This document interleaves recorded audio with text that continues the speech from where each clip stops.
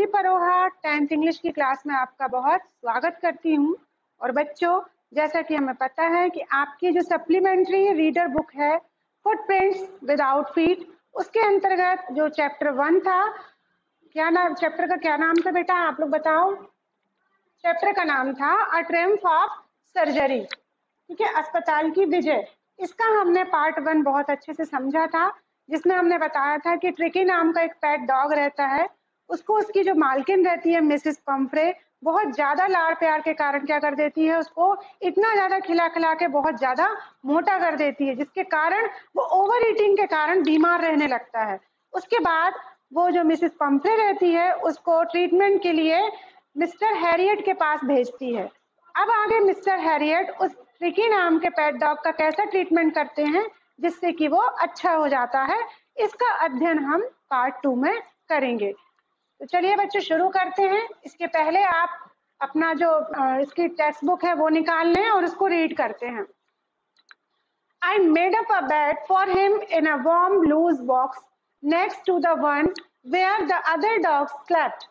अब क्या करते हैं, जो मिस्टर हैरियट रहते हैं, वो ट्रिकी को उठा करके अपने हॉस्पिटल ले आते हैं, डॉग के हॉस्पिटल्स में।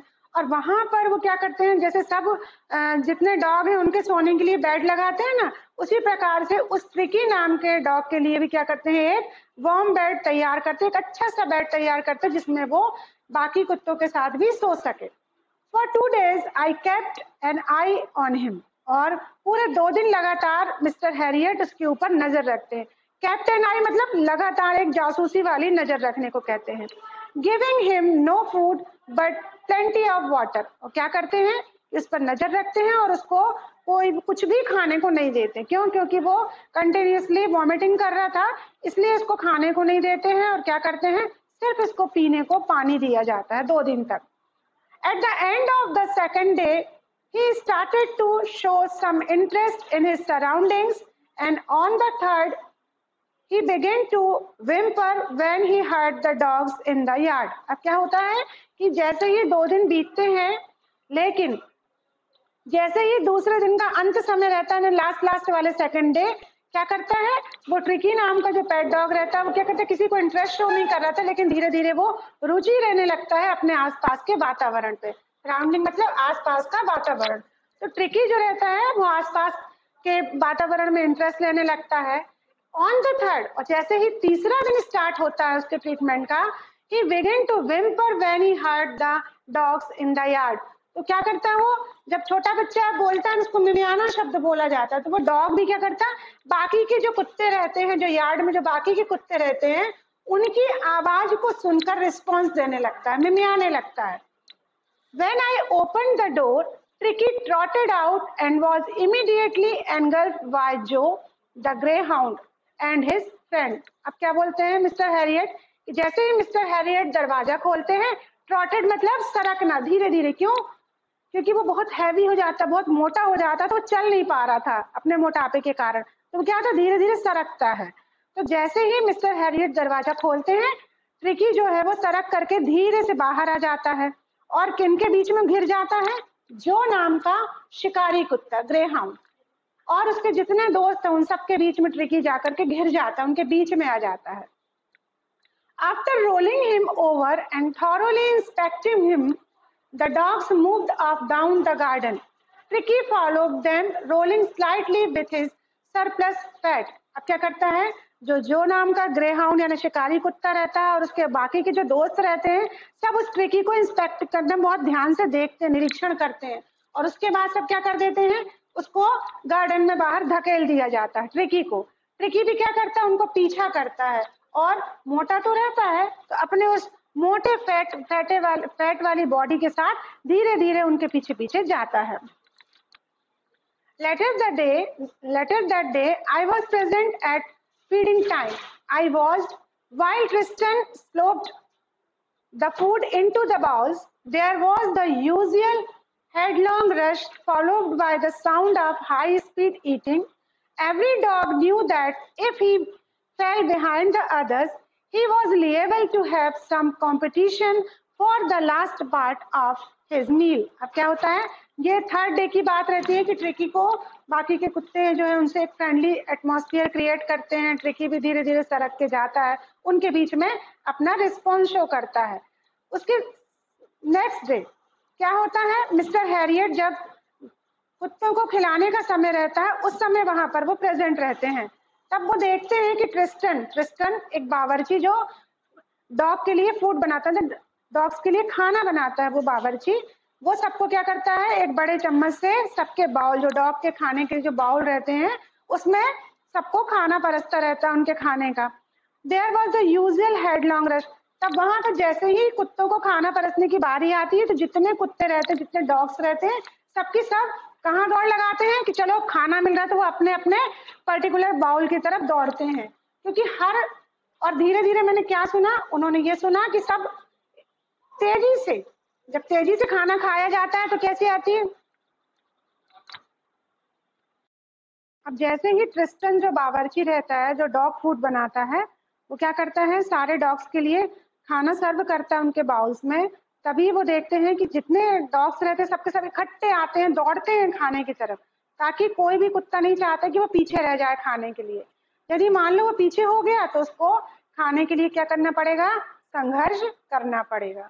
इसलिए वो जल्दी जल्दी तेज़ी से, जब बहुत तेज़ी से अपन को भूख लगती है तेज़ी से खाना खाते तो आवाज़ आती ना हाई स्पीड ईटिंग साउंड वैसा साउंड उस समय आ रहा था। When they had finished, Tricky took a walk around the, sorry, when they had finished, Tricky took a walk around the shining bowls, licking casually inside one or two of them. Next day, an extra bowl was put out for him, and I was pleased to see him jostling his way towards it. अब क्या हुआ जब जैसे ही उन बाकी dogs ने खाना अपना फिनिश किया तो जो ट्रिकी नाम का पेट डॉग था वो क्या करता खाना खाने का उन्होंने कुत्तों ने बहुत ऐसे चाट चाट के बाउल के खाना खाया तो सारे बाउल और शाइन कर रहे थे। तो वो भी ट्रिकी भी क्या किया, वो उनके आजू बाजू उन बाउल्स के बाजू में चक्कर काट रहा था और उसने एक दो बाउल्स को चाटा भी, क्योंकि उसको भूख महसूस हो रही थी। अभी दो दिन से ट्रिकी ने कुछ भी नहीं खाया था। अगले दिन क्या किया, हैरियट ने अगले दिन एक एक्स्ट्रा बाउल लगाया, किसके लिए? ट्रिकी के लिए लगाया। और मुझे खुशी थी कि वो, उसके अंदर बहुत जोश था कि वो उसकी तरफ़ जाए खाना खाने के लिए। From then on, his progress was rapid.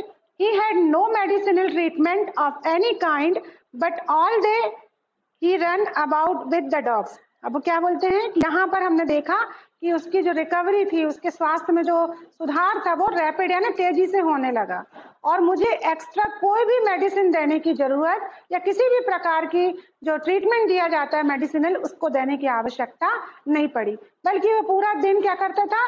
बाकी डॉग्स का भी पीछा किया करता था, उनके ग्रुप को ज्वाइन किया करता था और फ्रेंडली स्क्रीमेज मतलब उनके साथ झगड़ालू, जैसे डॉग्स आपस में लड़ते भी हैं, प्यार में झगड़ते भी हैं, इस टाइप का वो भी करने लगा था। He discovered the joys of being bowled over, tramped and squashed every few minutes. He became an accepted member of the gang, an unlikely, silky little object among the shaggy crew, fighting like a tiger for his share at meal times and hunting rats in the old hen house at night.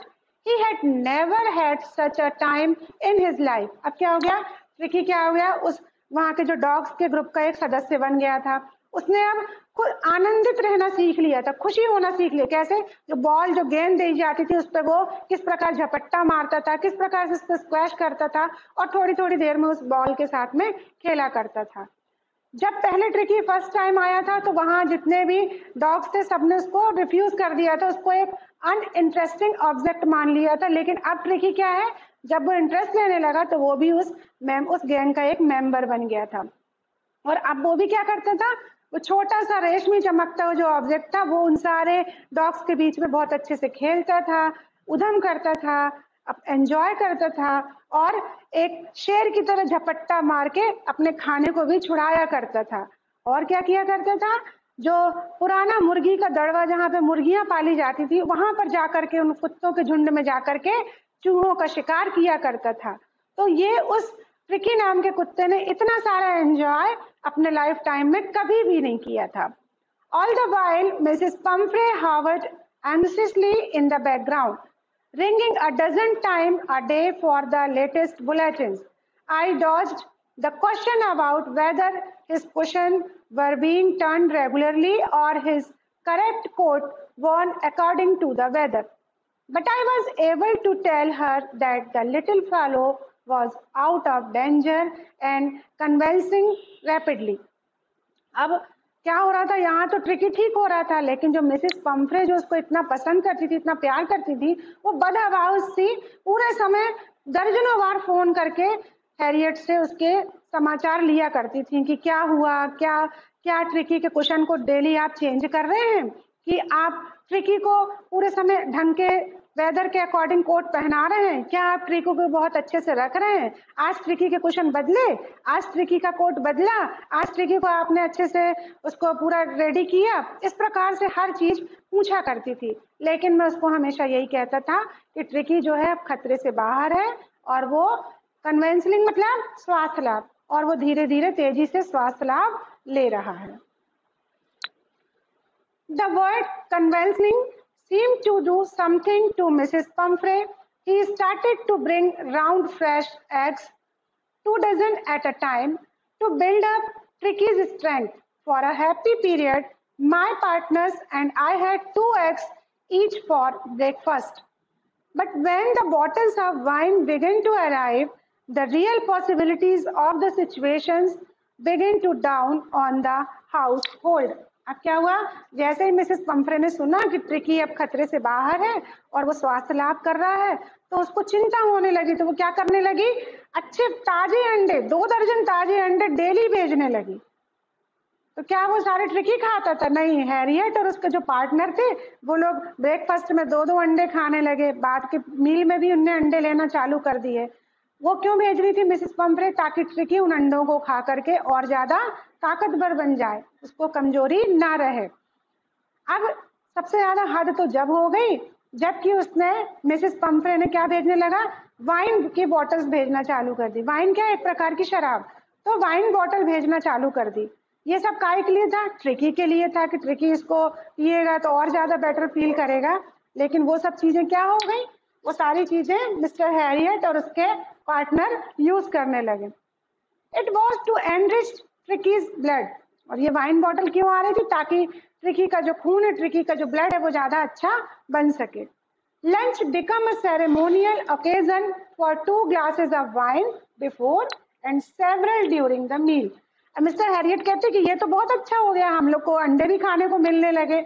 और wine की बोतल भी भेजी जाने लगी daily तो हम लोगों के लिए जो लंच था, जो दोपहर का खाना था, वो कैसा था? एक ओकेजन मतलब एक बहुत बड़े समारोह में जो खाना मिलता ना, उस टाइप का हो गया था।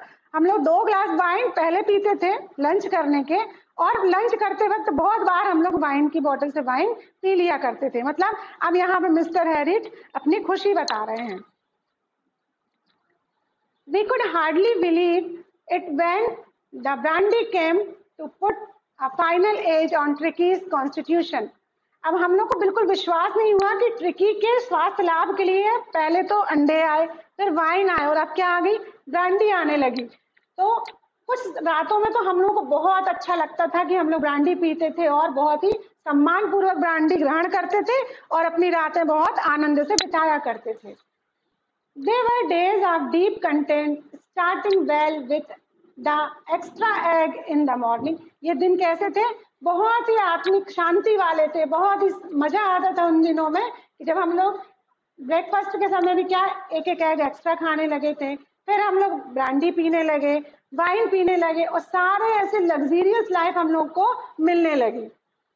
It was a temptation to keep Tricki on as a permanent guest but I knew Mrs Pumphrey was suffering and after a fortnight, felt compelled to phone and tell her that the little dog had recovered and was awaiting collection.